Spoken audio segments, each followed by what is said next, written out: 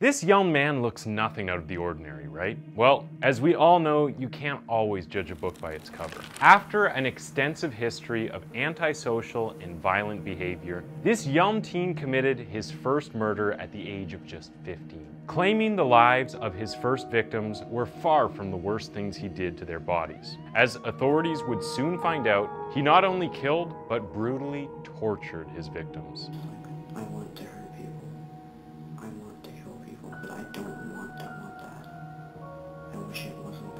Welcome or welcome back to Twisted Minds. My name is James, and today we will be looking at the case of Daniel William Marsh.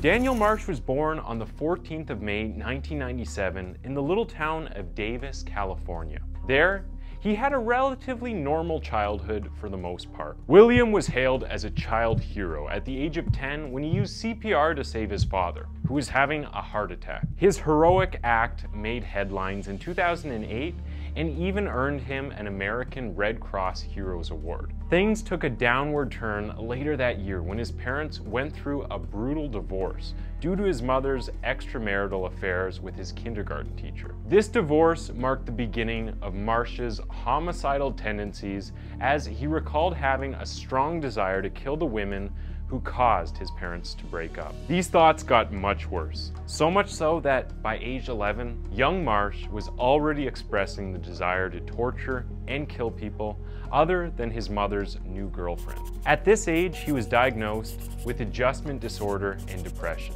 To his parents, that was all it was a depressed child having issues adjusting to his parents' divorce. But they were wrong. At 13 years old, Marsh began seeing a clinical social worker, Dr. David Bessa, because he was having temper outbursts, bad nightmares, and was generally just not liking other people. He was prescribed antidepressants to help control his mood and temper, but that did very little to curb his developing psychopathic tendencies. It wasn't long until young Marsh started using alcohol and marijuana, which only seemed to worsen his temper and intensify his twisted desires to kill anything with a pulse. His alcohol use got so bad that his father threw him out of his house at age 14 and when he moved in with his mother, his alcohol use gave way to anorexia. His eating disorder got so critical that he had to be admitted to the hospital for well over a month. For the next year or so, he was put on different medications, from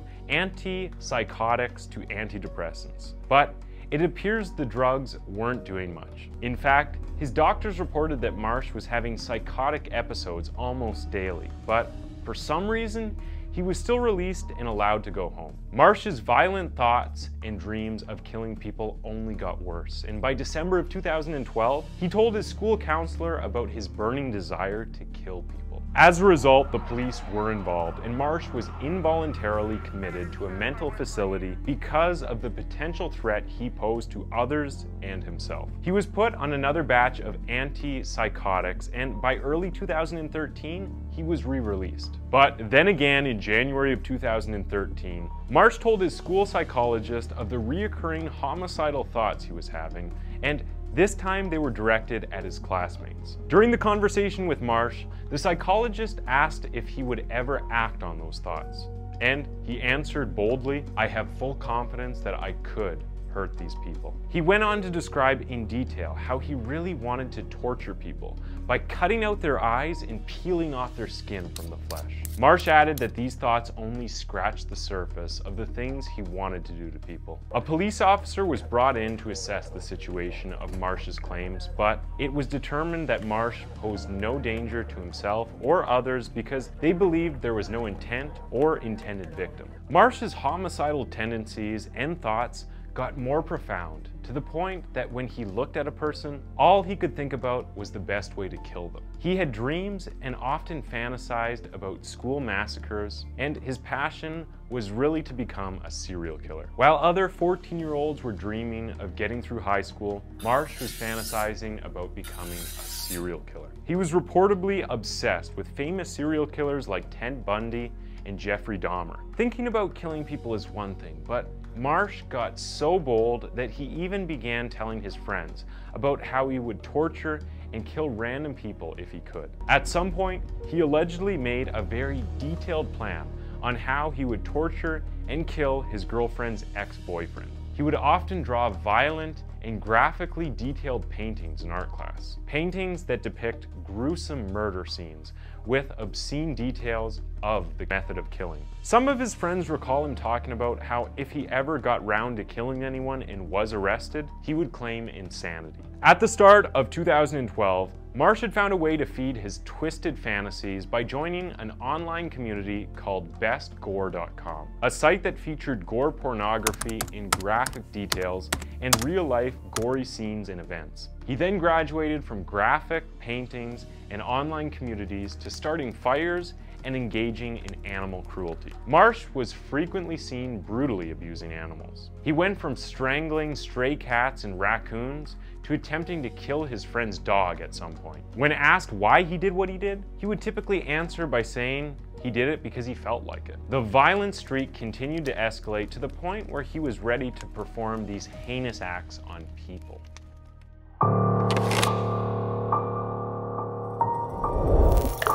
During his confession, Marsh revealed that after years of homicidal thoughts and fantasies, he had enough and decided that at age 15, he was going to live out his dreams and actually kill someone. Proving he was never an impulsive person, Marsh took his time in planning out the murders by making sure he wasn't going to be caught. He wore an all-black outfit, taped the bottom of his shoes to avoid leaving any footprints, and wore gloves to keep from leaving DNA or fingerprints. His weapon of choice was a 6-inch buck knife that he took from his mother's kitchen. Armed, Marsh crept out of his mother's apartment by 2 a.m. and began to search for a victim. According to his own confession, he checked more than 40 homes for an open window before finally spotting one at Northup and Matten's home, which was only two blocks from his father's house. Oliver Northup 84, was a Navy veteran who graduated from UCLA and worked as an attorney till his gruesome death at the hands of Marsh. His wife, Claudia Maupin, 76, was a stage actress at the local theater as well as a pastoral assistant at the Davis Unitarian Church. The couple were married for 47 years and had 11 children, some of whom were from previous marriages. They also had 14 grandchildren and several great-grandchildren. Marsh gained entry into the old couple's home by slicing open the screen on the window and climbing into the house. He waited in the living room before hearing snores coming from the bedroom. Following the snore sounds, he made his way into the bedroom, where he found the old couple sleeping. For a few minutes, Marsh stood beside the bed watching the couple sleep, trying to decide from the number of ways he wanted to kill them. According to his confession, at that moment, standing over the couple's bed, he felt nervous but excited and exhilarated. Unfortunately, this was when Claudia woke up to see a strange boy in their bedroom, and she began screaming. Alarmed by her scream, Marsh started stabbing the 76-year-old woman in her torso multiple times as she screamed and begged him to stop. He would later reveal during his confession that her cries for him to stop only incentivized him to keep stabbing her. In his own words, he said, the old lady just would not die, and that was when her husband, Oliver, woke up. Marsh proceeded to stab the 84-year-old man many times until he was confident the man was dead. He would later reveal that he didn't stop after the couple was dead, but continued to stab the lifeless bodies because it just felt right. Marsh inflicted 67 stab wounds all over Claudia's body, including several in her face, some of which knocked out her teeth.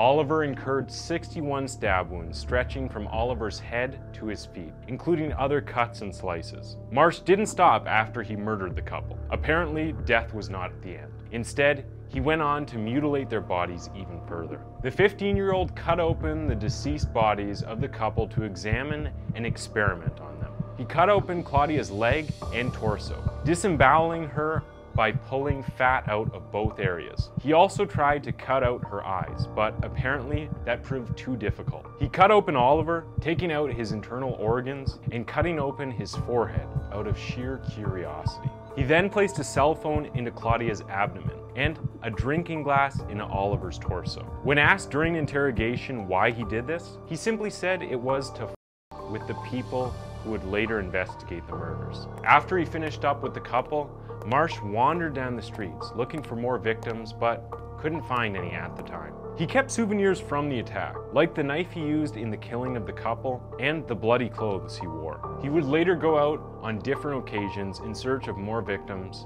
and this time he armed himself with a baseball bat instead. He revealed that his choice to change weapons was so that his subsequent murder wouldn't be connected to the stabbing of the old people. Apparently, he had studied serial killers, and having an MO was always how they were caught. The morning following the attack on April 14th, Oliver and Claudia were absent from church service, which of course raised concerns with their family. Oliver's daughter Mary attempted to reach the couple by calling their cell phones, but to no avail. When Oliver failed to show up for a gig he had with his local folk band, his son Robert decided to visit the couple at home, but upon getting to the house, he left thinking the couple was out of town. In the end, it was Claudia's daughter, Laura, who went into the house, this time with police, to check out the situation later that evening.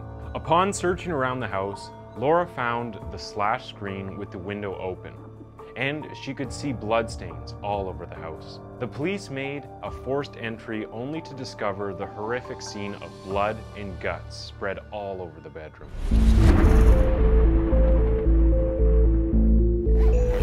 The investigation sparked national interest, with over 25 FBI agents and numerous investigators crawling onto the small town to try and solve the gruesome murders. But seeing how careful Marsh was in not leaving any physical evidence like fingerprints or DNA behind, the investigation soon reached a dead end. But Marsh would eventually be arrested, only because he couldn't stop himself from bragging about the murders. In the days following the murder, Marsh bragged about the murder to his close friends at school and even told other students during lunch break.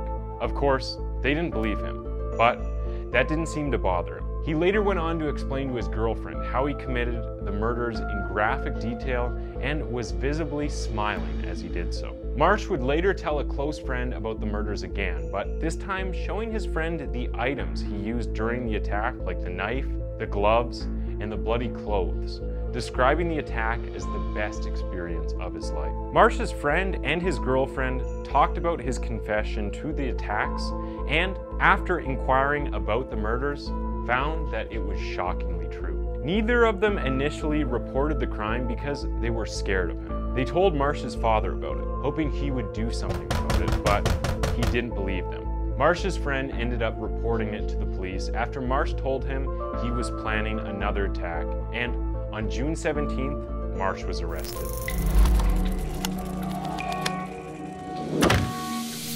On the 17th of June 2013, Marsh was brought into the principal's office to be questioned by FBI Special Agent Chris Campion and Detective Ariel Pineda of the Davis Police Department. At the start of the interrogation, Marsh initially denied any involvement in the murders, sobbing and begging the detectives to believe him. But after three and a half hours of interrogation, he finally confessed, stating that that night I just couldn't take it anymore. I had to do it. I lost control. He explained in detail the entire crime. I went to their bedroom, I opened the door, then I just kind of stood there over their bed, watching them sleep for a few minutes. My body was trembling. I was nervous, but excited and exhilarated. I was actually gonna do it. I was there. It was finally happening. He further described how he mutilated the couple, stating, I cut open both of their torsos. You, around here, points to two areas of his chest. And in the woman, I put a phone inside of her. And I put a cup inside the guy. During the interrogation, Marsh admitted that it was the best feeling in his life, stating, It was pure happiness and adrenaline and dopamine, just all of it, rushing over me. I'm not gonna lie, it felt amazing. It was the most exhilarating, enjoyable feeling I've ever felt.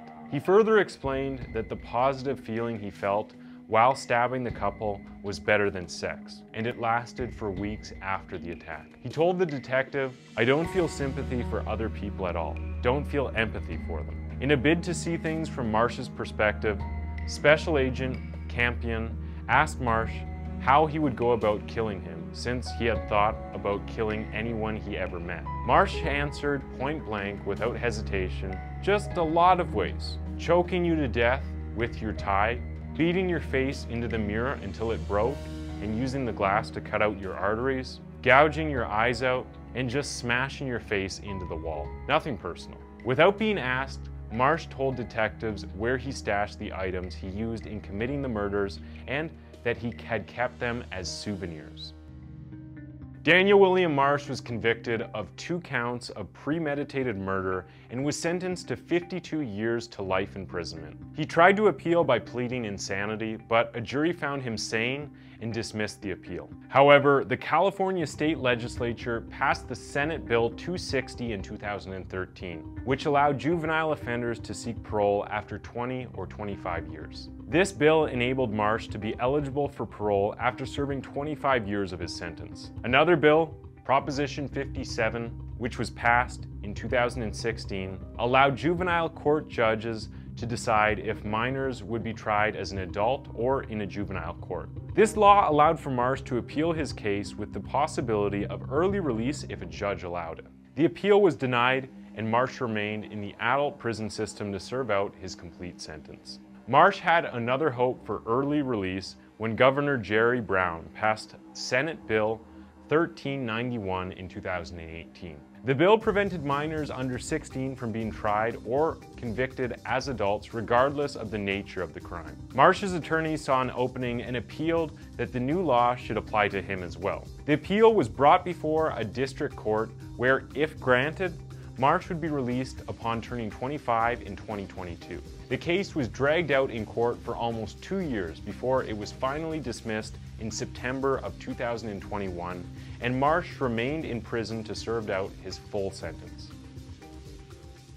Thanks for tuning in to Twisted Minds. That was the case of Daniel William Marsh, and why don't you go ahead and click on one of the two videos on your screen for another one of our videos.